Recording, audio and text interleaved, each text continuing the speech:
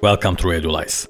Using BUTT and Radiolize integrated is very simple. For first step, you can click to DJ accounts and you can add DJ. You can fill in the blanks any way you like. After creating the DJ account, we return to the BUTT panel. For this step is just copy and paste.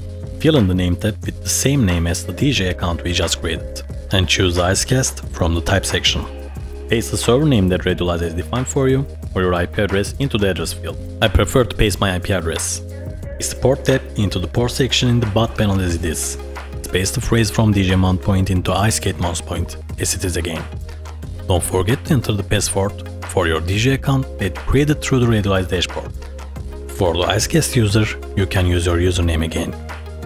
Now you can click to that and save it. Also you can customize your stream infos from the stream infos panel. Fill in the blanks as you desired. Click to the connect button and that's it, you're live. Can double check it from your dashboard too.